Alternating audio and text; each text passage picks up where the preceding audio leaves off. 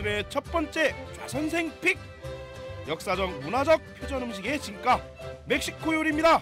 올라! 제주에서 먹는 세계 음식 첫 번째 나라는 멕시코로 왔습니다. 라쿠칼라차, 라쿠칼라차, 아름다운 이 노래. 허, 아름다운 음식이 쫙 펼쳐졌습니다. 여러분들 이 음식은 많이 아시죠? 음, 타코. 멕시코의 soul food 하면 바로 이 타코가 빠질 수 없는데요.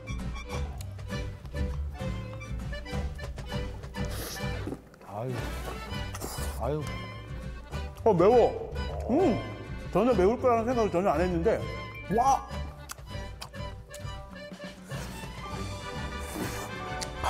제가 매운 거를 좀 먹는 스타일인데 굉장히 맵습니다. 매워서 굉장히 기분이 좋아요. 고추가 이렇게 구워져 있는데 아 이게 굉장히 맵네. 그리고 밑에 그 살사 소스, 살사, 살사가 이렇게 밑에 쫙 뿌려져 있어. 그리고 이 아보카도가 이게 싹 입안을 감싸면서 이 매운 거를 약간 이렇게 중화시켜줘.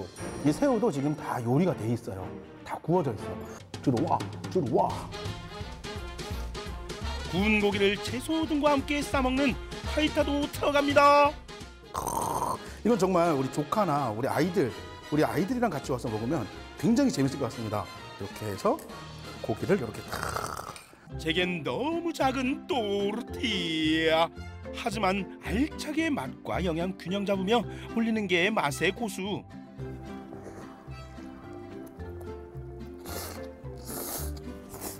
음, 이게 굉장히 궁합이 잘 맞네. 담백한 음, 돼지고기 살코기만 이용했고요. 그리고 이쪽으로는 굉장히 상큼한, 음, 상큼한 소스.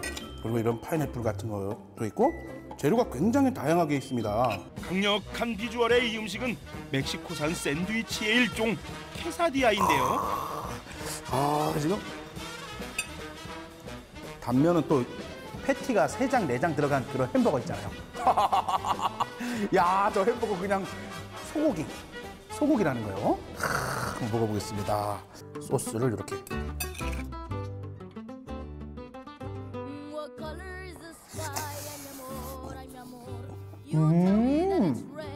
뭐가 뚝뚝 떨어지나 했더니 꿀이 뚝뚝 떨어지고 있었네. 밑에는 허니. 꿀이 듬뿍 있는 꿀 소스 꿀 꿀. 와 꿀이 들어있어요? 이거 똑똑하네 또. 이제까지 안 먹어본 맛. 동서양의 오묘한 조합. 멕시코 음식 드시러 오세요.